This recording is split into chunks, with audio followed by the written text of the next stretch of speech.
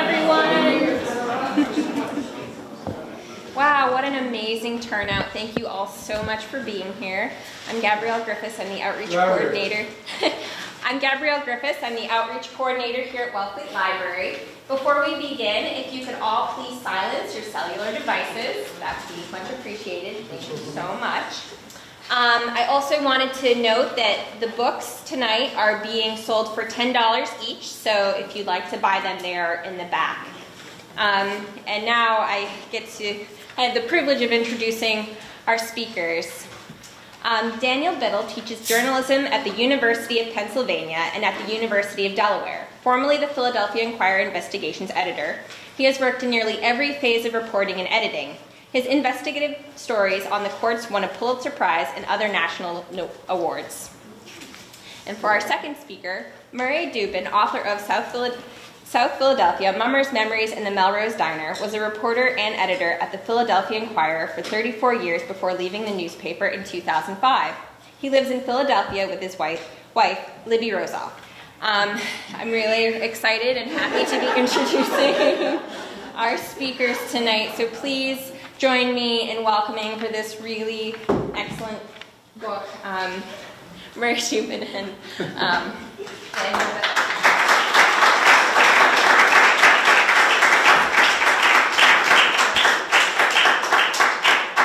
Thank you very much. Now, Murray and I are very high tech, so bear with me. Everybody hear me okay?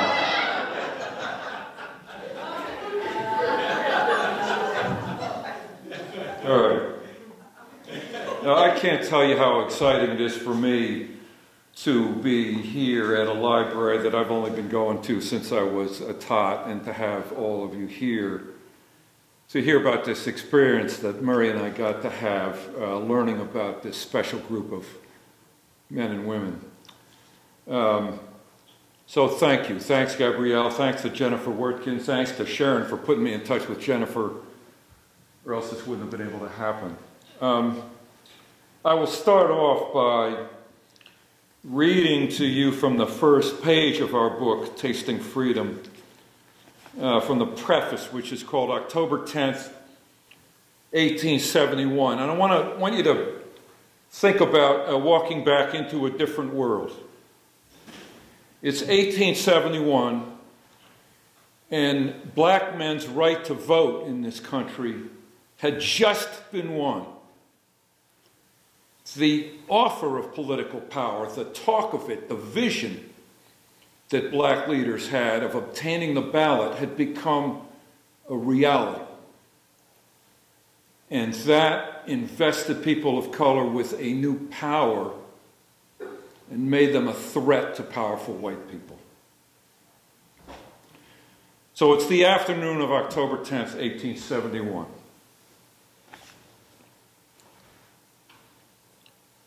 Go one more forward.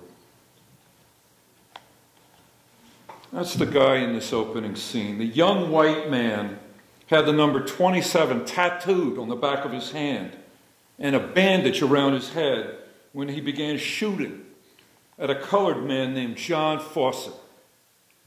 He missed. Fawcett, who was a hod carrier from the Philadelphia neighborhood of Frankford, ran up South Street to escape. Joined by a crowd, the bandaged man followed him. Fawcett saw a cellar door that was open in front of a store in the middle of a block. But before he could dive in, a white boy stuck a foot out and tripped him. Fawcett scrambled to his feet, and the bandaged man fired again. That same afternoon, election day in Philadelphia, about a mile away, another Negro, a school teacher with the Roman sounding name of Octavius Valentine Catto, left a pawn shop on 3rd Street and began walking home. People on the street knew who he was. An orator who had shared stages with Frederick Douglass a second baseman on the city's best black baseball team, a teacher at a black school of national renown, and an activist who had fought in the state capitol and on the streets for equal rights. He was 32 years old. It was Election Day 1871, in the busy South Street area, which was the institutional and political heart of black Philadelphia, had been rocked by violence since the night before. Was it all the squire's doing? White policemen and Democrats who answered to him were attacking black voters, and scores of them had gone to the hospital. No, I'm getting ahead of myself. I thought I had a slider slide. Anyway, Catto had sent his pupils home early. And rather than going directly home to his boarding house, he chose a safer route up Lombard Street to 9th, near his fiancee's home. You'll hear about her later. And then down to South Street, where he lived at 814. Catto walked with an assured athletic gait, as if his right to the pavement were guaranteed, which it was. But only lately. Scores, oh, excuse me, memories of slavery haunted every colored home. Generations of men and women had risked their lives to claim the simplest of rights to learn in a schoolhouse, to serve in the army, to ride on the railways, to cast a ballot. Now those rights were being tested. Catto turned onto South Street at the moment when, in W.E.B. Du Bois's words, Americans of color were first tasting freedom. As Catto walked east, the bandaged man, there he is, was looking for more Negroes to hurt, more Negroes who would not be able to vote that day. He passed Catto nonchalantly, but once he was five steps beyond, the bandaged man turned and crouched. A young girl at 822 South shouted to Catto, Look out for that man! The bandaged man was pulling out his gun.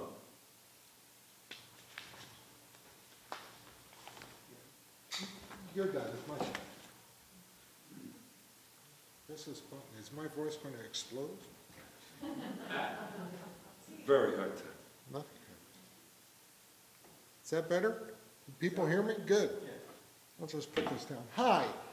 Um, thank you very much for coming. There are a lot of you, and I'm sure this makes Dan feel very good, and that's important because he doesn't get out as much as he used to.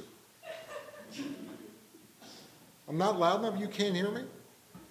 I'm sorry. Gabrielle, help me, please. How's that? Can you turn it a little? Uh, Can you hear me now? Yeah. Thank you. Uh, Dan and I have been very fortunate and have had the opportunity to speak very often at all sorts of venues, sort of all over the country. And one of the things we like the best about speaking in public is the Q&A at the end, and there will be a question and answer period when this is over. When we first began talking, we were surprised at how polite people were. They really didn't ask very difficult questions. One of the questions they often asked is, how did you two come to write this book? Which is an absolutely legitimate question of any author. But we thought what they really wanted to know was how did you two white guys write this book? Because this is really a black history book.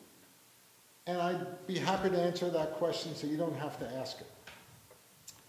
Uh, a long time ago, about 25 years ago, I was working at the Inquirer and working part-time trying to write a book about South Philadelphia, which is the neighborhood I grew up in and the oldest neighborhood in Philadelphia. I was doing research at a place called the Library Company, which is the oldest library in the nation, started by Benjamin Franklin. And while there, a wonderful librarian, a wise man, gave me an academic essay written in the 1960s or 70s about a man named Octavius Catto, who I'd never heard of. Like most academic essays, it wasn't written very well. But it was full of fascinating information about Catto, who was an extraordinary figure. I grew up in Philadelphia, I was educated in Philadelphia, and I felt both embarrassed and a little angry that I had never heard of him.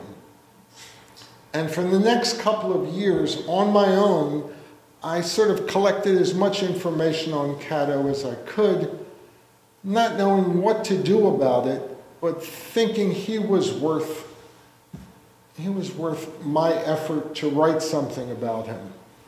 There are about four or five paragraphs on Catto in my South Philadelphia book, but that wasn't enough. Fast forward a few years into the early 2000s, late 1900s, and Dan Biddle, my colleague, um, sees me at the Inquirer offices and says to me, What are you doing? And I said, I'm not doing much, but I'm sort of obsessed with this uh, black civil rights hero from the 1800s. And Dan, good reporter that he is, said, Who? I said, Dan, you never heard of this guy. No one's ever heard of this guy. And Dan, good reporter that he is, said, Who? And I said, honest, Dan, you really don't know who this guy is. It's going to be embarrassing. You're going to say, I don't know who that guy is. And he wasn't embarrassed at all. And he asked me who one more time. I was getting a little angry now. Uh, and I sensed that he really wanted to know, and I almost didn't trust him. But I said, thinking he would not know who it is, Octavius Catto. And he looked at me and, to my shock, said, I am obsessed with him too. now, I don't want to hear this. Still upset. Thank you.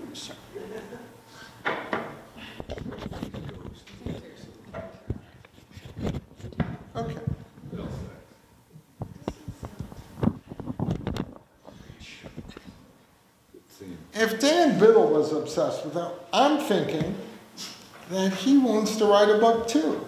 And I'm thinking that he's thinking that's what I'm thinking.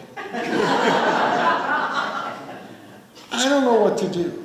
And I don't know what to say. And he's not saying a word. We're staring at each other. Now, I make it sound like this took a long time. I mean, it was probably 15 seconds. But it felt like a duel. Without weapons other than the computer mouse near each of us. Um, and I didn't know how to handle it. And Dan didn't know how to handle it. And we looked at each other some more. And ultimately, both of us put our right hands out, shook hands, and agreed to write something about Catto together.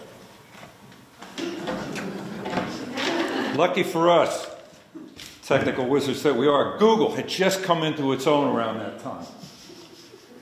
And uh, we've joked since, ever since, that Google probably should have had the third byline because so much of our research kind of began then. And early on, after we shook hands and agreed to, to take on this idea, uh, at the end of my workday at the Inquirer, I would take his name and run it through Google every way that I could think of. And there was not a lot out there. And as, as real historians know, and I know there are some present tonight, when you research the 19th century, you have to account for bad spelling and for initials as opposed to whole names. So, quite often in old records, his name would come up as O.V. Catto or with the last name Catto misspelled with one T, or his father's name, William Thomas Catto, would come up as W.T. Catto. So, I learned to look that way. And in so doing, one night, I stumbled onto a note that was on a genealogy website and put up there by a black man in Virginia named Leonard Smith. And what Leonard had posted uh, uh, said, Was there anyone out there on the internet that could help him out? He was looking for records of his great uncle, W.T. Catto, and W.T. Catto's son, O.V. Catto. Well, I thought, I got to talk with this guy. And I emailed Leonard and asked if he'd share his phone number with me, which he did. And within, within a day, he and I, total strangers, black guy in Virginia, white guy in Philadelphia, yakking like old friends on the phone. And um, it, was, it was really one of my favorite interviews of my life as a, as a journalist. Um, Leonard revealed, among other things, that he and his wife Maxine had tried for years to dig up more information about these ancestors in their family. They'd even taken a trip to Philadelphia from Virginia to see if they could locate Catto's grave marker, and they were unable to. And he said one reason for his obsession was that when Leonard's grandmother was still living in her 90s, whenever the name Rosa Parks came up in the news, Leonard's grandmother would say, Leonard, Rosa Parks sat down, but she wasn't the first. Your great uncle sat down. And Leonard told me on the phone he did not know what she meant by that and had this aching desire to find out. And he shared with me that night a lot of the family lore about Octavius Catto and his father, the great uh, William Thomas Catto. And, you know, I told him what Murray and I were up to, that we were hell bent on seeing if there was a book in this man's life. And Leonard said, Look, I'll help you guys any ways that I can. I too am obsessed with Catto's life. All I ask is that you have Denzel play him in the movie. well, that was like 2002 when Denzel Washington was young enough to play this man in a movie. That's Catto at about age, age 30. Um, and we thought this little project would take us a year. We'd, we'd both get a year off from the paper. We'd beg our boss for a book leave. Thought it would take maybe one year since it was a biography, a narrow look at this one amazing Renaissance man who led a fight to integrate the streetcars, who led a fight to bring about interracial baseball, who fought to integrate the Union Army, had a whole literary side, lectured about Tennyson, of all things. Maybe a year. And it wound up taking seven years to do this book. Why is that, Dan? You might think maybe it was because we were both, you know, in, well, one of us was in late middle age by then, and one of us really quite old.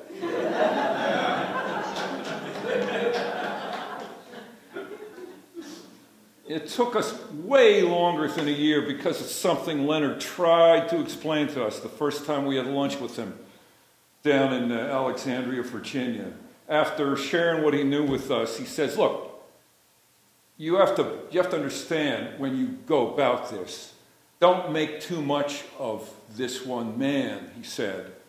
There were a hundred ov cattos we thought he was being humble because it's, it's people who were in his own family tree um, octavius and william catto and the truth of his words grew and grew on us and i dare say still growing on us today that what, what made O.V. Catto important was the movement that he was but one person in. He and his father were surrounded with men and women of extraordinary courage and shrewdness and ability to take the least amount of political resources and turn it into a whole tidal struggle for equal rights. They fought to integrate the streetcars, which were the horse drawn way to commute to your job in industrial Philadelphia in the 1860s. They fought to integrate the Union Army. They fought to integrate schools, which doesn't sound like that difficult a thing, except that this guy had grown up in Charleston, South Carolina, where by the time he was born, the South Carolina legislature, us Pennsylvanians are familiar with how badly a state legislature can behave. South Carolina legislators, legislators, by the time of his birth, had decided a great way to keep civic order was to deny people of color, whether free or enslaved, an education. They made literacy a crime for people of color. They made it a crime to teach people of color, whether free or enslaved, to read and write. If you were a white teacher and you broke that law, you could be fined, and if you were a teacher of color, you could be whipped for that crime of teaching. That's the world that this guy's mom and dad grew up in. And by some feat of physics and relentless will, his parents and the parents of his friends, having been faced with that odious thing of being denied an education, made a point of making sure their kids got the best educations that a black kid in that era could possibly get by hook or by crook. And they, what they raised was a generation of activists, like the modern activists that most Americans do know something about the Martin Luther Kings, the Rosa Parks, the Ella Bakers, all those brave men and women who risked life and limb to bring about a greater degree of equal rights in the 1940s and 50s and 60s. Well, Catto and the men and women of his generation fought those same fights 100 years earlier. And like the modern freedom riders that we're more familiar with, he and his friends, men and women, uh, came back from many of their meetings or their marches with their heads bloodied, or their bones broken, or their churches burned, or their homes ransacked by organized white mobs, and yet they went back for more, like those modern men and women. They went back for more and they got hurt again and they fought and they lost many, many battles and suffered greatly, but they won some enormous victories. And yet, I dare say most of you have never heard of most of them. I teach now, so you got to remember a lot of this is going to be on the exam. We're going to flip forward to the one of those mobs. People know who this guy was, Frederick Douglass. Quick show of hands. Not too bad. He'll be on the exam. That's Douglass in about his 40s. Henry Highland Garnet. Quick show of hands. You all know who he was, right? One or two. Not very good. He should be on the national history exam. He was Frederick Douglass's equal. You guys don't know who he was. Abraham Lincoln knew him well. When Lincoln was killed and Mary Todd Lincoln had that awful task of giving away some of Lincoln's prized possessions, Mary Todd Lincoln gave one of Abe Lincoln's prize walking sticks to Frederick Douglass and the other to this man, Henry Highland Garnet, as a token of her husband's, the esteem that he held them in. Well, uh, the other thing we learned in all this research was not only that there was this amazing network of women and men uh, all over the North, and some of them even in the, in the South before slavery ended, and with, a, with an alliance of contacts literally around the world as it, as it existed in the 1850s and 60s. But uh, another learning experience for us was the extent to which uh, those men and women, for the simple thing of going around this country and campaigning against slavery and in favor of equal rights, became targets of white violence. And I don't mean eggs being thrown, although that happened a lot, or, or insults or death threats. I mean organized white mob violence, and not just by impoverished white people, but by the better off classes. A lot of the riots that people like Garnet and Douglass and Catto uh, were at the losing end of were led by white people in nice clothing gentlemen of property and standing, merchants, mayors, members of Congress. Um, now, they had a few white allies. Lucky for us, some of them were more or less from around here. Lucretia Mott, quick show of hands, should be on the exam. That's not too bad. Anybody know where Lucretia Mott grew up? No one. No, you got to read up on her. Grew up in Nantucket. The famous Coffin family daughter of a sea captain who'd be away for, for years on end. So Lucretia, as the oldest kid, kind of had to run the family. Uh, and maybe that helps explain why she became, I think, the bravest of the white abolitionists and equal rights advocates. Put her body on the line in a political way at a time when women weren't supposed to engage in politics at all, much less on behalf of people of color. William Lloyd Garrison, class, not too bad. Newburyport, Massachusetts, not too far away. Probably the second bravest white abolitionist. Anybody know what happened to Garrison in the streets of Boston? His people were upset with him for being anti-slavery and making a big stink about uh, fighting slavery. Whites dragged this little man through the streets of Boston at the end of a rope. Who else we got? Sarah Parker Remond from Salem, Mass. Anybody know her name for the exam? Better read up. Um, one of the three or four bravest black abolitionists and equal rights speakers, facing that double whammy. Black people weren't supposed to have political views, women weren't supposed to have political views. She took the campaign for equal rights and anti slavery across the ocean and was a, a big hit on the British anti slavery lecture circuit. She shocked Victorian audiences with candid stories of what white male slaveholders did to black enslaved women. Imagine telling that story to audiences in, in Victorian Britain. British audiences loved her. Who else we got? Now, I mentioned how whites reacted. This was such news to Murray and me. You know, we went to college, I majored in history. Um, one of the worst of the white riots against anti slavery meetings was in our hometown, Philadelphia. Abolitionists had put together a lot of money and built one hall where they thought anti slavery meetings and speeches could happen safely. White mobs, the white mayor, um, white Democratic leaders, Democratic Party leaders of that era, decided that that hall could not stand. And in the first week, when anti slavery meetings of men and women, black and white, were going on in there, a mob organized and threatened all the people in the hall and burned it to the ground. Um, and of course, there was other violence against the anti slavery and equal rights movement in places maybe you might expect when a lot of William Lloyd Garrison's newspapers, The Liberator, turned up at a post office down in Charleston, the capital of slavery. A mob in Charleston attacked the post office and took all those mailings and burned them.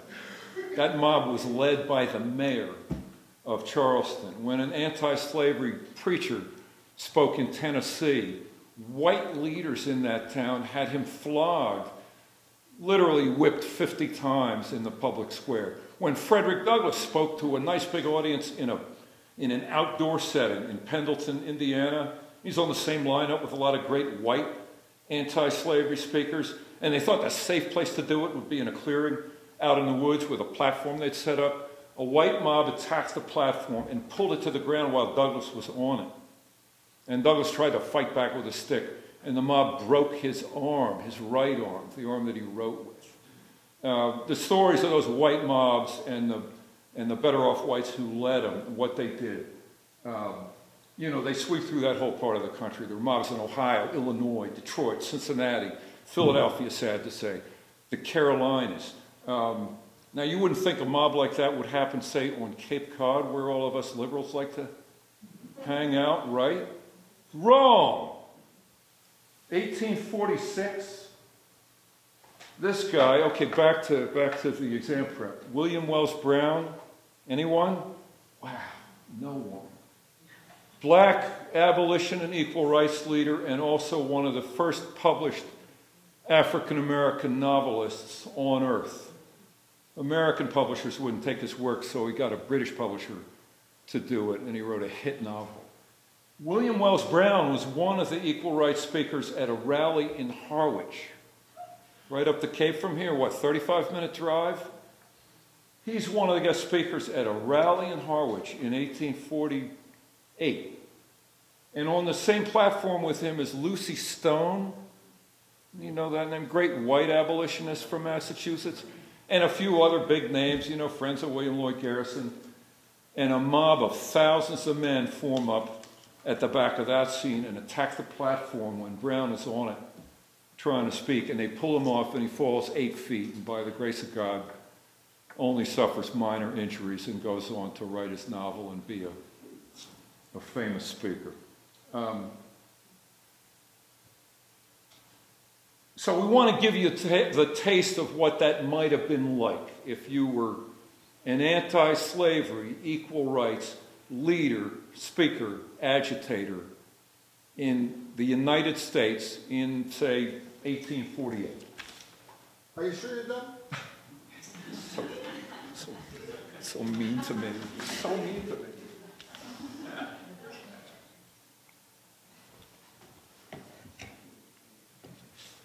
So 1848 is a year when there are a lot of abolitionists traveling to spread the word of abolition. Traveling's not so easy in 1848. You're going either by foot, by horseback, by carriage. Trains are segregated, so it's iffy if, if you can get on a train or not. Here's the story of two then very well known black abolitionists and what happened to them in Ohio. Martin Delany is from Pittsburgh. Martin Delany visited Marseilles, not France's port city, but its namesake, a village in the cornfields of northwest Ohio. Then as now, local people pronounced it Marseilles. Delany and his Ohio contact, the light skinned Negro abolitionist Charles H. Langston, were riding north from a meeting in Columbus and stopped at the hotel of a sympathizer in Marseilles. The sun was setting, and townsmen were pitching quoits in the main street. When they saw the two Negroes climb from a carriage, the game came to a halt. In the hotel, local men buttonholed the visitors and proposed an impromptu anti slavery meeting at the schoolhouse. Would Delany and Langston agree to address the meeting? How could they say no? They washed up and started for the schoolhouse. As Delany and Langston walked, white men and boys, in Delany's words, fell in close to our heels and followed them into the schoolhouse. Sensing a trap, they declined to speak. The man who had invited them shouted, I move we adjourn and consider this a darky burlesque. A cry went up, darky burlesque, and the swelling, almost festive crowd followed them to the hotel. Delany and Langston watched from a window as Whites lit a barrel of tar and shouted, Rush in and take them! Kill the niggers! Delany could hear a thousand demonic howls along with talk of taking him and Langston south to sell them. A blacksmith forged handcuffs. Boys blew horns and banged tambourines as the fire lit the night. Delany, who fought in the Civil War, secured a butcher knife and vowed not to be taken alive. The innkeeper and a one armed Mexican war veteran, honest. Tried to calm people down. Didn't you hear how those black fellows talk? The veteran said. These are educated Negroes. In time, the crowd's energy ebbed. And at dawn, the Negroes sprinted out. They reached their carriage amid, amid a barrage of stones and shouted promises of death if they ever returned. Thus did a group of citizens nearly cut short Delany's career as a doctor, orator, journalist, African explorer, and soldier, and nearly deprived the world of the poetry of Langston's future grandson, who went by the name of Langston Hughes. Um, I want to jump ahead a little bit while the abolitionists' focus was stopping slavery, they also fought many smaller battles that were, that were very important to them. They sought to integrate baseball, which was, quite frankly, from Maine to California after the Civil War. They fought to integrate literary societies cultural institutions, and streetcars, which were all over Philadelphia uh, and sort of came in tandem with the Industrial Revolution, taking people to work. The streetcars were privately owned and they were segregated. And some, some streetcars would not take any, any Black riders, some would take them if they stood in the front, which was a dangerous place to stand. Even veterans of the Civil War could not ride on the streetcars. Wives, daughters, sisters who wanted to visit them in the hospital could not ride on the streetcars. After the Civil War, Octavius Catto and colleagues sought to try to stop that.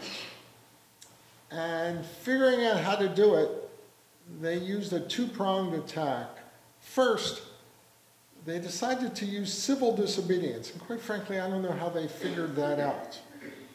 But they got black clergymen to sit in on the streetcars and be thrown off, and they would contact the newspapers beforehand. They got students at Lincoln University, which was a brand new black college just outside of Philadelphia, to storm on the streetcars and be thrown off. Uh, they tried to get pregnant women to do the same thing. And the publicity started to turn the sentiment of the city a little bit, but the streetcar owners, quite frankly, didn't care. Their second prong was to go to Harrisburg, the state capital, and try to get a law passed. Now, there are no black legislators in Harrisburg, everyone's white. In the 1860s, blacks can't vote. You know, they, they can't vote till 1870. So they have no power. They have no clout to force them, force legislators to say, change this law. But they persist. And this effort starts to bear some fruit, and there are sympathetic ears, because there's a sense nationally, because this is going on nationally, that one day soon, one year soon, blacks are going to get the vote. And Catto and his friends persist and persist. And finally, the governor sort of moves in, in, in their favor, and a law is passed. And I want to read you what happens.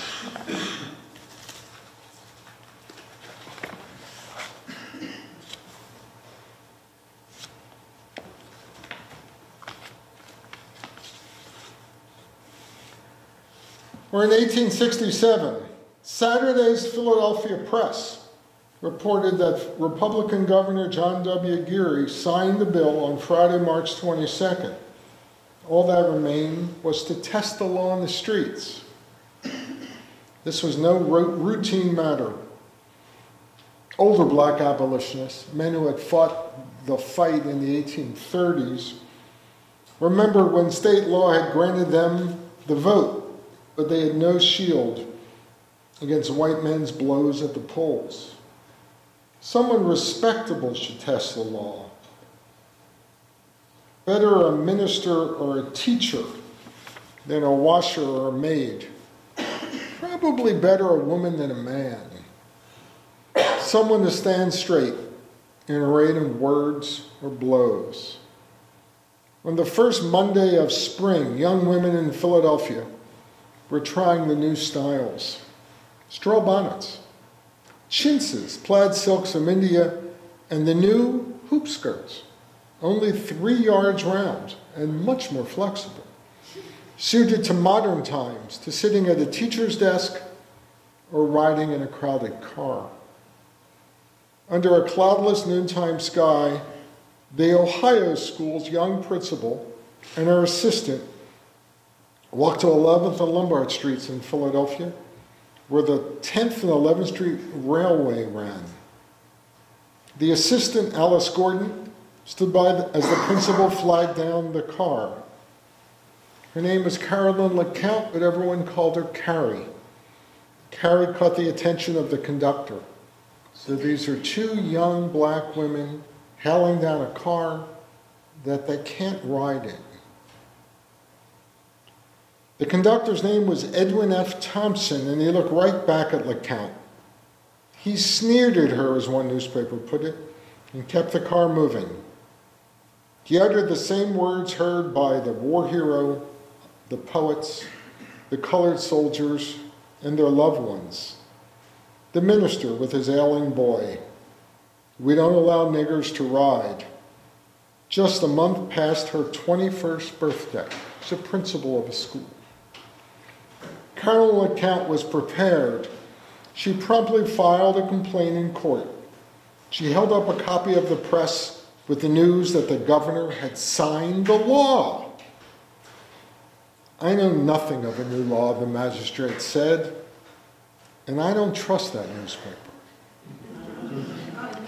Carol, this is 1867. Carol LeCount went to a state office and returned to the magistrate with a certified copy of the law. This is, again, a young black woman. There are no black women in the state courthouse, which you all know now as Independence Hall. There are very few women who, who work there. No one black works there. So this is a very gutsy move on her part. Comes back with a certified copy of the law. The conductor, Thompson, and his com- company paid a $100 fine. And from then on, the streetcars in Philadelphia and throughout the state were integrated.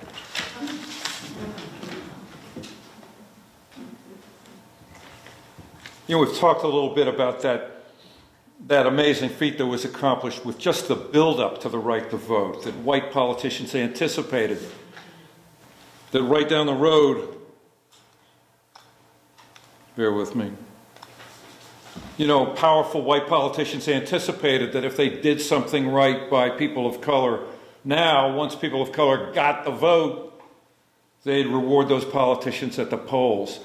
And then comes 1870 and all these forces come together so called radical white Republicans in Congress, uh, the party of Lincoln, you know, uh, marking Lincoln's martyrdom by trying to push through all these equal rights laws in Congress. As one great Republican congressman from Philadelphia, a true equal rights guy named William Kelley, said it was the rare moment when party expediency and principle coincide with all this pressure from people like Catto and Douglass and the Remonds and the, and the Garnetts and that handful of white allies, and now this rise of radical Republicans in Congress, the, fifth, the 14th and 15th Amendments get pushed through and ratified. And next year, make a point not only of you know voting in that little presidential election, but remembering that it's the 150th anniversary of voting rights being extended only to men of color, but it was a big step. So by the spring of 1870, there was cause for a great big voting rights march. We're all more familiar with the big voting rights march in Selma many, many, many years later, where, you know, where black marchers, for the simple thing of marching for the right to vote, were, were cursed and stoned and attacked by police and whipped. The great John Lewis had his head laid open by state troopers, and they marched on. Go back to 1870. I wish I could show you a picture of the voting rights march that Philadelphians had that spring, April 1870. They marched for five miles through the streets of Philadelphia, and like those modern marchers, they had to put up with insults from white onlookers. People were throwing garbage. William Kelley, that great white ally in Congress, they were carrying his portrait. By the end of the march, the Kelley portrait had been completely defaced by the garbage that white onlookers were throwing at it, but they marched anyway. And they completed the march, and when the march was over, they had a big celebration of the promise of voting rights, which everybody seemed to know was the crucial right. Catto and other leaders of the Equal Rights League, which is sort of the forerunner of the NAACP, wrote a few years earlier that if that one right were granted, the right to the ballot, all the other abuses and outrages would start to evaporate like the dews of morning before the morning sun. This is what it looked like in the streets of Baltimore. Thousands of people marching just to celebrate the right to vote. One of my favorite pieces of the Baltimore March, you know, we've got YouTube these days, we've got Facebook. They didn't have that back then. So what did they do? They put a printing press on a big wagon. And as the marchers moved through the streets of Baltimore, you know, a city in a state that had been south of the Mason Dixon line and on the wrong side in the Civil War, the printing press inked copy after copy of the 15th Amendment that extended voting rights to men of color. Well, back in Philadelphia when the march was over and people were sort of licking their wounds and rallying in a big hall that was on Broad Street at the end of that day, Catto spoke. Uh, Lucretia Mott was celebrated. All these heroes of that era's great civil rights struggle either spoke or were honored. And there was no plan to let Frederick Douglass speak. But he was at the back of the crowd. And imagine this, right? It's a packed hall in Philadelphia. There's a handful of those white allies like little Lucretia Mott and William Lloyd Garrison. But the galleries are packed with people of color celebrating the right to vote. And when Douglass is seen at the back of the hall, and you see this a lot in Douglass's career, he didn't have anything planned, but people start chanting his name. And the crowd of young black men almost body surfs him up to the stage. And he explained they didn't have anything prepared to say. He speaks anyway. And by that time, you know, he's getting a little bit gray. And he's a revered figure for equal rights people, black and white. Um, and he tells the crowd how on that march, he, like everyone else in the line of march, could hear the insults, could feel the rotten fruit being thrown at them, could hear shots fired at them, and rocks being thrown. This is one of my favorite Douglass lines that we dug out. But he said he felt differently for once, even after all those mobs he had to face down in the past few decades. He said, I felt the 15th Amendment, voting rights, protecting me like the hide of a rhinoceros. Um, one more slide. Here we go. Now, we don't want to get all immodest, but this book that we wrote had something to do with this statue going up. It's a little less than two years ago. This is right outside City Hall in Philadelphia. There's Octavius Catto. You can't see it in this shot, but he is striding toward a ballot box in this statue. This is Branly Cadet, the wonderful sculptor that we got to know, who, who designs this sculpture. If you're a Los Angeles Dodger fan, Branly also designs the statue of Jackie Robinson outside Dodger Stadium. That's Jim Kenney, the mayor of Philadelphia, who pushed really hard to get this statue built. But that ain't all. There's Murray. There's his wife Libby. My daughter Ellery and I are back here somewhere. Now, this little white lady in pink here, some people here tonight know her.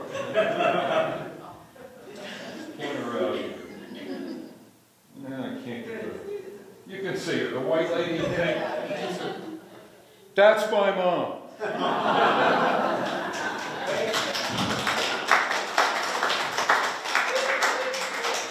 Who once again steals the show.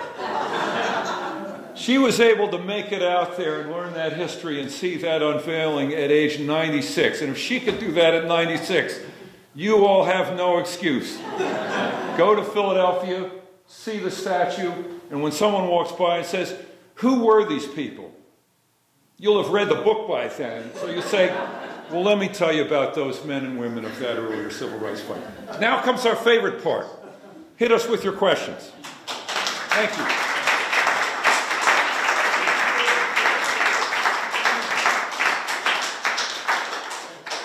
I always tell my students there's no such thing as a dumb question, so fire away. John Clayton. Question. Uh, How did you two work together? Did you do that? I did. Good. Now, Everybody here, John Clayton's excellent question. typically, I answer this question first because I'm funnier. Um, but because this is Dan's sort of home turf, Try to stop breaking the yeah, I, fancy. I I think you should answer. Wow.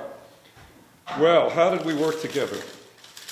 It's a great question, and we get asked a lot. I think it really helped that we had both worked for many years as newspaper guys, and had had the experience of, you know, working with other reporters, uh, uh, and we both worked as both reporters and editors. So the whole process of knowing that your work, no matter how good you might think it is, uh, needs to evolve, needs to be trimmed, tightened, maybe the voice made more consistent. We were used to that. Uh, and one kind of test run we did that really helped Um, the Inquirer, where we worked, used to have a Sunday magazine where a lot of good writing appeared. And we talked the woman who ran the magazine, the great Avery Rome, who was kind of our ghost editor on this whole book, into letting us work together on a quick Sunday magazine story about Octavius Catto. That was back when we thought we had a short biography. And we had a very short amount of time to get it done. And we both had just a little bit of knowledge by then about some element of Catto's life the streetcar fight, baseball, voting rights, the war. So we split it up sort of 50 50. Murray did sort of segments one, three, five, and seven, and I did two, four, six, and eight. And we got it done in a week, a long, busy week, but that was a great sort of uh, test flight for working together. We thought we, you know, need to make that work for a year. It took seven, but we still, you know, get along. and we and we did work at trying to make the voice consistent. Um, and we, we debated that a bit at first. Did we want to sound modern? Did we want to use the language of the era? And we, we kind of decided at some point, yes. You know, we use the N word on purpose because people threw that word around back then and it had every bit as much sting and hate in it as it does today, but people used it more, and we wanted to convey that. And that was a decision we agreed on way early. Uh, that was a Great good question. Um, I have a present. Great. Thank you. Very good. Someone else, Ella, uh, Ella or Christine? just one present per family. Okay. Where you mentioned that uh, this is not a history that's taught in schools. That's Um, correct. And, you know, I both went to public school in Philadelphia, and I certainly didn't learn this history.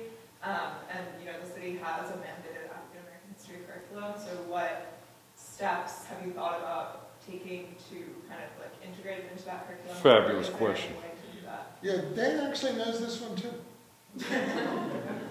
You want to start? No, go right ahead. You're doing good. These are Everybody here, Ellis question? It's a great question. What, what steps, if any, have been taken, especially in Philadelphia, to get this history that was hidden for generations from history books, get it taught today? Steps are underway, and we're really proud of that. A great piece of the statue going up has been a parallel push in Philadelphia public schools to teach this history. Lucky me, I got to address um, a room full of about 50 Philadelphia high school civics teachers to talk about how you could use this book in class, uh, what sort of really uh, live action things kid could, kids could engage in. The mayor pushed that cause really, really hard and often speaks eloquently about how cheated he felt having never heard of this guy going to Philadelphia schools. This guy right here, Yassin Muhammad, you know him, one of two terrific educators in Philadelphia who are leading the push to get this not only taught in Philadelphia schools, but taught in a really involving, interactive way. And to see that happen, I mean, as long overdue as it is, it is really exciting. And there are already teachers in Philadelphia public schools teaching cat and teaching that history.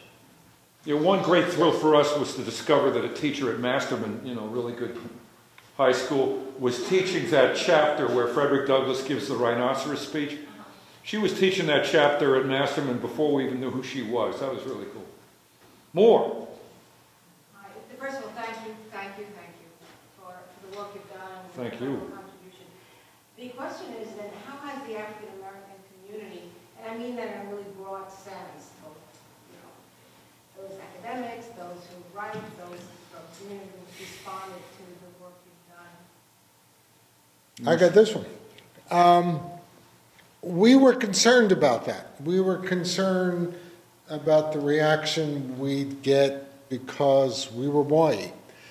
And uh, I would say that 99% of the reaction has been wonderfully positive. Um, we've spoken at, at a number of black churches, and the reaction we get is thank you, I want my children and grandchildren to know this story, and they don't. Um, and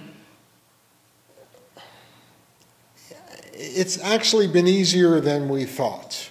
Um, I, I'll tell you one funny story. We spoke at a public high school, and after we were all done, one of the 10th or 11th grade students who was African American asked us rather boldly, and it was impressive, whether either of us had ancestors who owned slaves.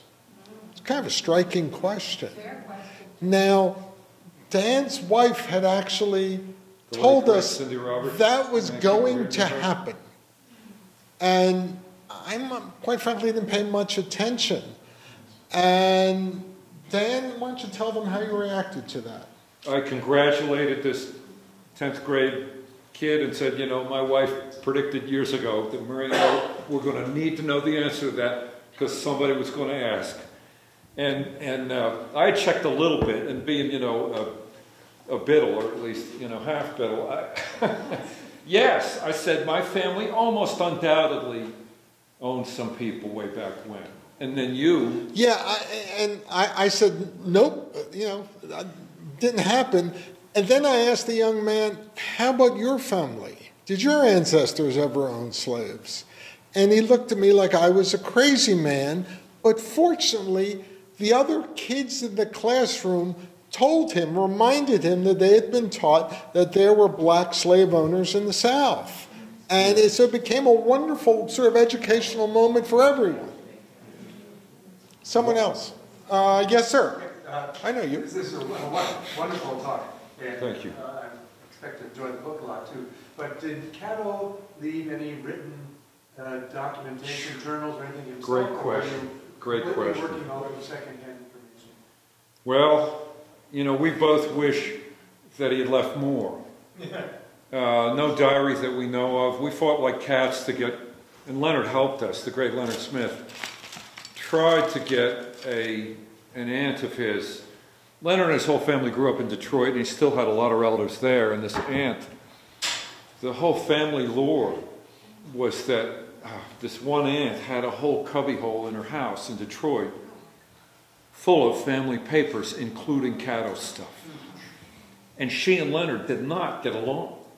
On our behalf, Leonard goes out there, this is years ago, and hangs out with her for a few days. And, and, she, and he knew her son, and they were good buddies. But the aunt, you know, they, they didn't get along. And he, this is so something or other. He, he gets her at the kitchen table and, and starts into the question, you know, Aunt so and so, the cubby, as she called it, with all that old family Catto stuff. And as he asked the questions, the lights went out. Mm-hmm. It was the Midwest blackout of 2000, and I think four. And he had to spend the next 48 hours taking care of this aunt who lived alone and who lost her power. And he was never able to complete the question.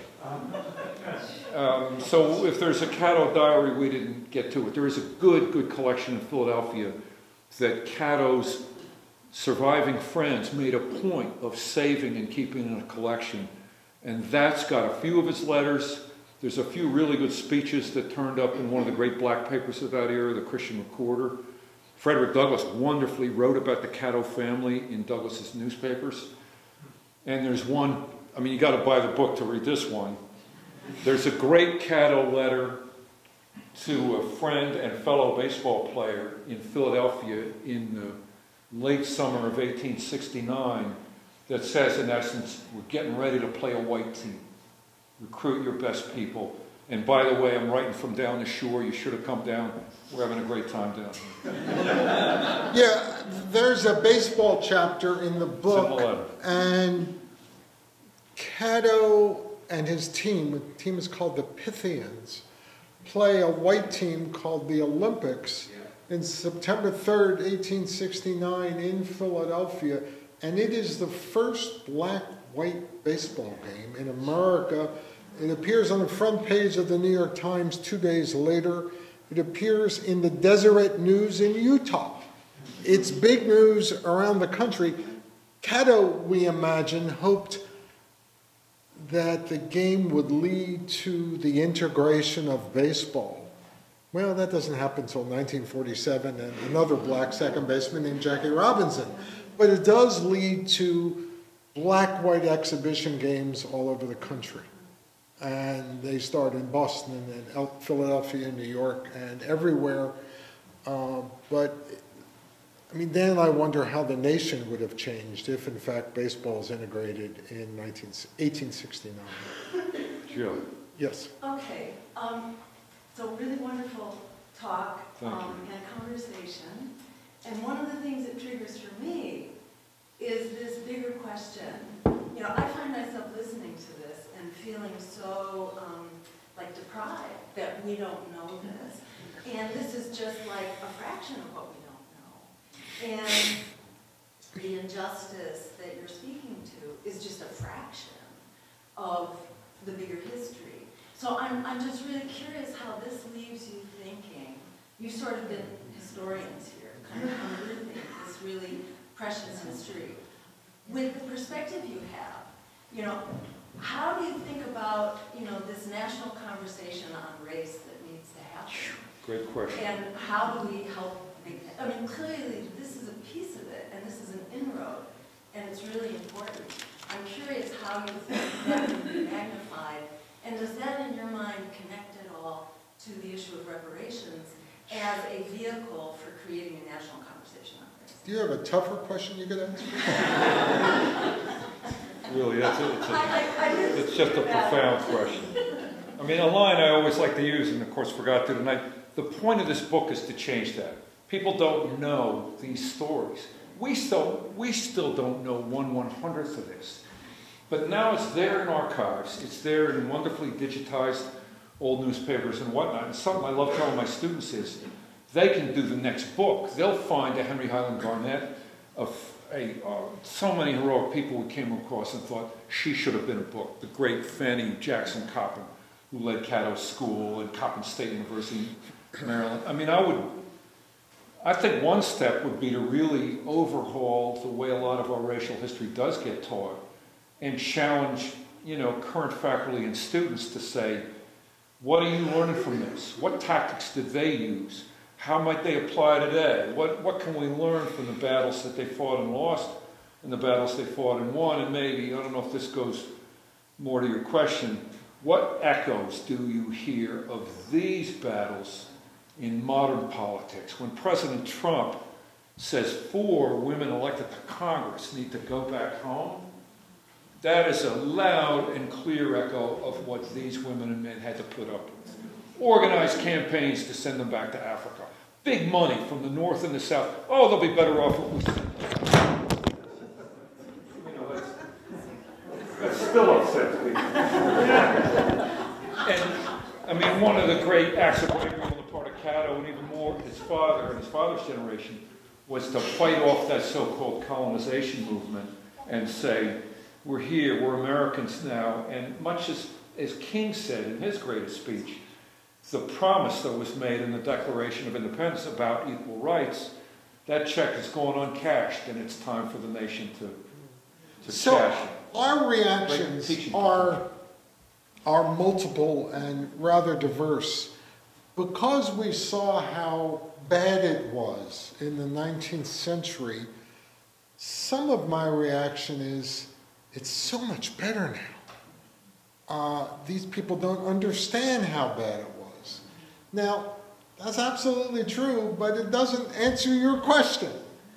The other thing is that Catto statue, Philadelphia has more public statuary glad you- by a wide margin than any other city in the United States. Okay? The statue of Catto is the first statue on public land in Philadelphia of a single named African American. It's After 300 years- outrageous! After 300 years. That is absolutely outrageous. And nothing's happened in the last two years, so I, I, I don't know of, of a- another statue going up. Um, the people in this movement, unfortunately, didn't write the history books. And the Reconstruction history of the United States and the history kind of on the streets of the North, it's relatively recent that historians have paid attention to it. If I ask you to talk about African Americans in the United States in the 1800s, you're going to talk to me about slavery, because that's all we've been taught. This is a book that actually isn't about slavery, though we have slavery in the book, you can't avoid it. It's about free African Americans who are free in name only.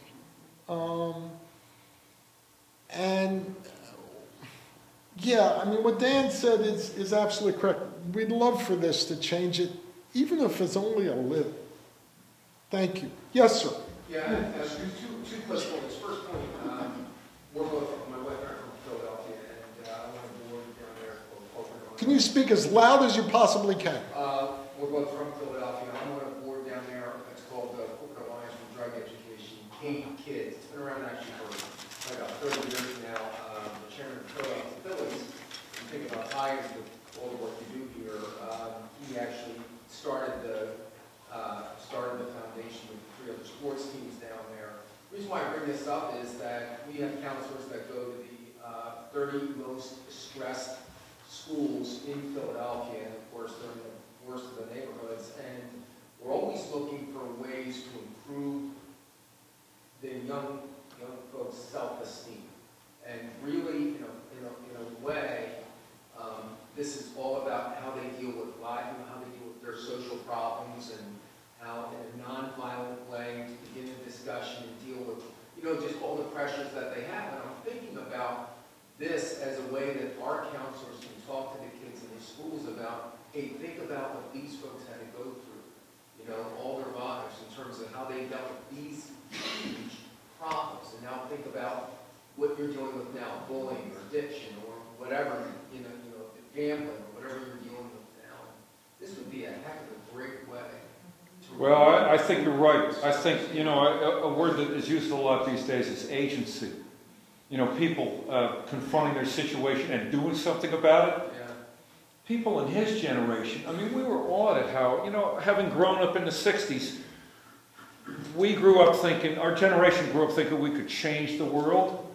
You hear that theme over and over in the writings and speeches, even the song lyrics that Catto and the men and women of his generation said or wrote. They were, even though they were teenagers growing up in 1850s America, they thought they were going to change the world. And damn it, they did. Yeah, think, exactly. Think about this as an inspiration to all these young people that are going through this. Teenagers. His, Teenagers. his best friend at age 18 confronted the governor of Pennsylvania with an equal rights speech in 1855. That would have been hard for a black kid to do in Philadelphia in 1955. And second quick point. That's um, agency. To what extent, uh, and I'm sorry, Mr. First what extent did, did your book cross over to the Negro Leagues and did this Ah. have any effect on, um, the people who eventually Catto came in contact with and then on up in, in terms of them fulfilling history? Uh, I'm not going to take this occasion to brag that we got to do a speech at Cooperstown, the Baseball Hall of Fame. It is pre-Negro League era. It's about 30 years before the Negro Leagues. On the bright side, though, so to speak, they had a hell of a league. They had a black baseball league in this country by the end of the Civil War that had teams in Harrisburg, Chicago, Boston, uh, Baltimore, Washington. I mean, you got to buy the book because that's, I think, chapter, chapter 13, and you'll learn that you'll read about how when they played their game in Washington, and Catto's team was a terrific team. Uh, one of the teams they played against had a guy playing in the outfield who was a pretty good player too, and his dad was in the stands for the games. That would be Frederick Douglass's kid. Charles. Actually, he was an infielder, Dan Mann. So I thought he said outfield. infield. So, so it was a hell of a league. They were good. Uh, yes, ma'am. I think uh, the, the piece about the voting rights and the fact that it's going to be 150 years, to me, is the most significant thing. I don't have a question, I'm just going to make a very tiny speech, which is that these white men are still trying to keep black people from voting. Hello? Right? And they know, we know, they know, that that is the way to win power. And those white men do not want to see black people have power. It's very simple, it's very clear, and not a lot has changed, unfortunately. Of course, Thank you. people are voting and all of that, Great speech, and when you buy the book, I especially recommend, I especially recommend chapter 14, where you will get a, a dose of how this myth of vote fraud and the need for voter ID, how white racist Democratic leaders use that nonsense in the 1860s. These Liz These Biddle. guys are afraid of your. We got a lot of ringers here today. Yes. Tom Holtzman. As you started to research this, did you find any awareness at all in the African American community in Philadelphia of these people and the movement that your book describes? Yes, Yes, plenty. So Yes. there, there were oral histories and things handed down. yes. Older black men and women knew who Catto was. Great moment But- for but a just great older. learning moment. Yeah. There, there was a great columnist, and before that, investigative reporter at the Philadelphia Inquirer, Acel Moore, rest in peace, who really pioneered the integrating of the Inquirer newsroom and, and had lived in Philadelphia for many, many years. When our little magazine piece came out with Catto on the cover, I'll never forget this. Acel sees us in the newsroom and shouts, he says, I see you all discovered O.V. Catto. I think that's known now as referring to the white gaze. You know, it's like we're still, you know, we, we don't we don't know. We can learn a lot, but but there's still plenty to, plenty left to be learned. I'm sorry, you, you had a question. I, I just was following up the link back here. Sure. There's a wonderful book that I'm reading right now, Just Mercy. Oh, by Bryan, uh, Bryan Stevenson. Stevenson. And it sort of follows up a hundred years later your book, but what's going on down south, uh, in the nineteen sixties, seventies, I guess. Uh, the- How the blacks are treated down there and incarcerated with disabilities and it just, it's so shocking and, but it's a fabulous book. It's, you can't put it down. Your second person pointed out to me. Yes. I need to read that book. I promise I'll read it. Really, I, I hear nothing but right. Yeah, no, that book's not available tonight. That's right. But for a low, low price. Yes, sir. Oh, yes, sir. What was Catto's status when he was born, and how was he educated? Wow. Well, you know, you got it. It's only ten dollars. Yes. The next question is going to be, uh, do we have to buy the book? Briefly. Briefly. He's born in South Carolina. His father is a free man, so he's free. And just about every southern state had small groups of free black men and women. And it was a little larger in Charleston because it was a bigger city. Um, his father was very much in, involved in the church, and it was kind of a, I don't know, a, a, lay minister, and they had to be very careful about that because he was African American. So he took care of other African Americans, and uh, and he become, we know he becomes educated when they move to Philadelphia when he's nine. Do we know he's about education in Charleston? Not much. Yeah. I mean, we Um, know that his dad somehow, even with that law against black learning, his dad uh, gets himself illiterate by the time he's in his 30s and is writing stuff on behalf of black worshipers and black sort of community leaders in the context of Charleston, a, a slavery capital. So, I mean, I wish we could show you a picture of his dad. We're unable to find one. But he was quite a guy. And we think his mom, Catto's mom, her background is, we think, exotic also. As a, a child of a mulatto, as it was said back then, family in Charleston that had obtained wealth and ran a lumber yard in the port and owned people. That was said to be her family background. Yeah, I would guess that his father educated him as, as a, a small boy, but I can't prove that. And then from age nine, He, wa- he was here and, and he went to school. In Philly. He- He went to school in Philly and in, and in New Jersey. what And, sort and of school? pardon? What sort of school? We have that slide? I don't think we do. I was gonna get the ICY slide. Yeah. He, and I, you really gotta buy the book. The school was called the Institute for Colored Youth. It was an experiment that wealthy Quakers put together, uh, thinking they knew how to educate uh, kids of color. Black leaders in Philadelphia, including Catto's dad, uh, pushed to reshape that school and make it a true academic school.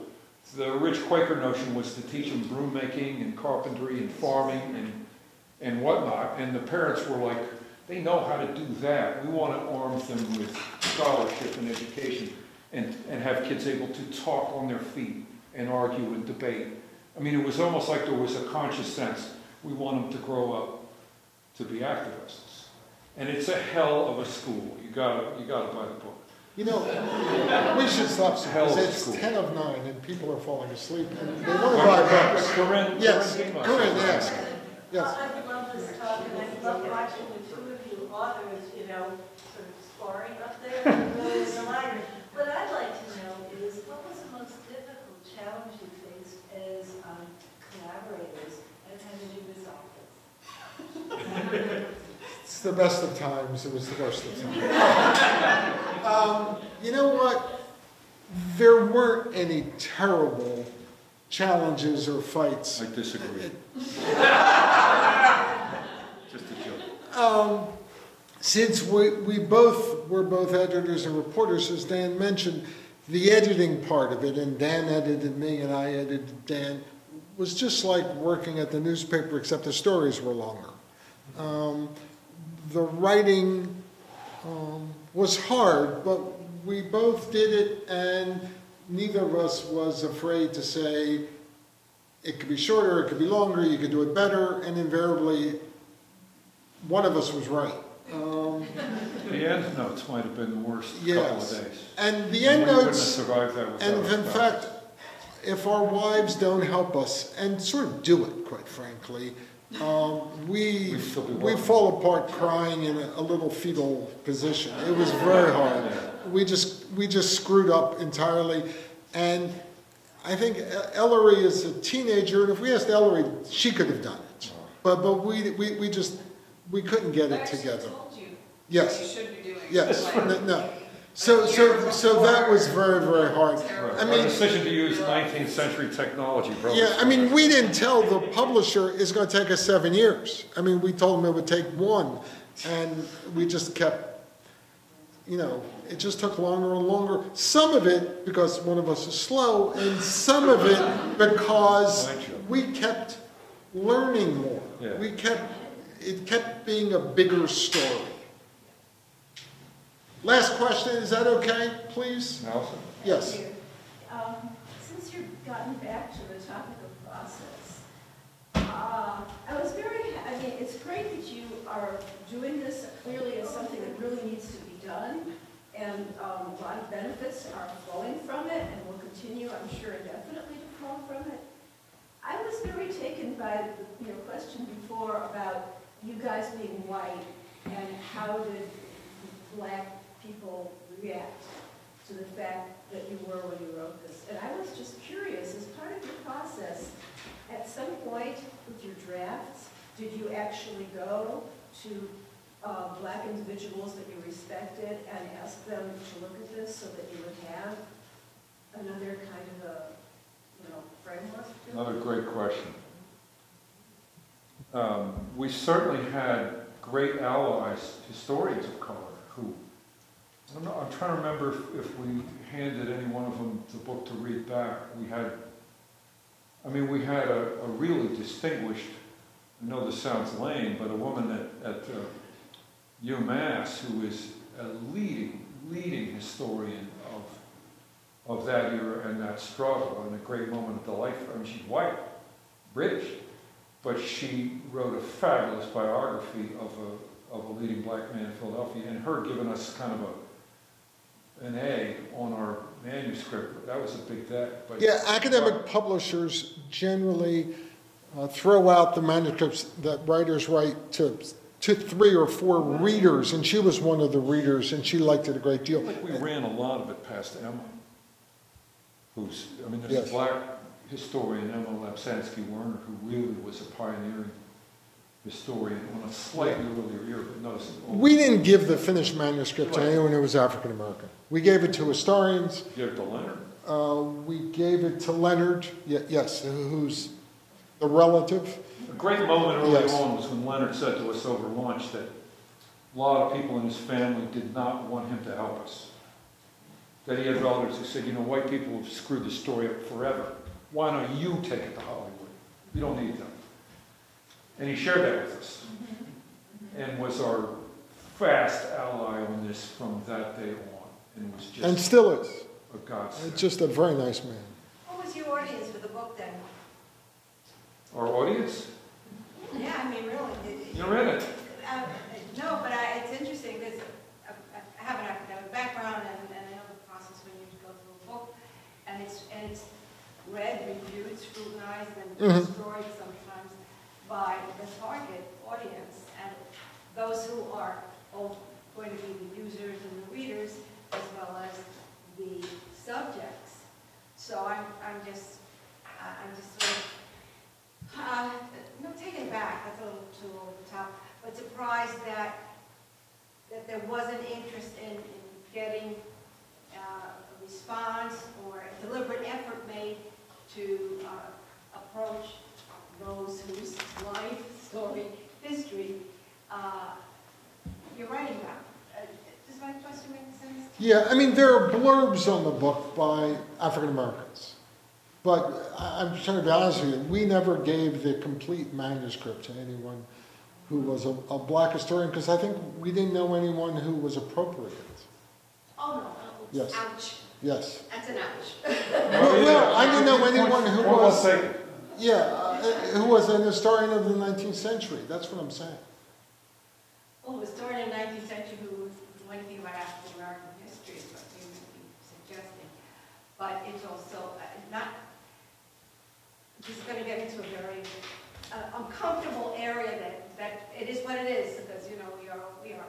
Uh, but as I've said, that, uh, having worked in areas, so my area has been ethnic and racial, social justice, it relates to health. And, uh, and we've always worked hard with ensuring that not only the subjects are actively engaged and not just the objects of the work, um, and, the, and not being able to find appropriate so-called experts is not a good uh, excuse for not, not assuring that a population uh, who knows enough about the issue or have had some experience in the issue, not. Yeah, I- I mean, also Dan and I don't know who the other two or three academics who reviewed the book are. I I mean, you're not told. I mean, we found out the, the woman that Dan mentioned because we know her and she saw us at a, a literary event and she came up and told us about it. So there may have been two African, I mean, I, I- I have no idea. And, and hearing what you're saying, I would imagine that, that the publisher did do that. But, I mean, but, but, but- Anderson. yes, I guess it also the burden of not being of the community per se. There is a burden on responsibility that comes with it. absolutely. Yeah, you know, I'm not, let me just make it very clear, I think the work you've done as a contribution is not to be challenged, that's not the issue. It's more about the approach and the process and how it affects communities of color, per se, not to be actively engaged with them in a way, and, and not leave it up to your publishers, but to see that as part of the process, part of the, the ability to uh, show you captured the portrayal, the analysis, the uh, information in a way that resonates and has that greater depth. Your, your You're right. point is a good one. Yes. It's nine o'clock. Sorry, Oh, yeah. No, don't no, be- It's okay. Thank you. Thank you very much.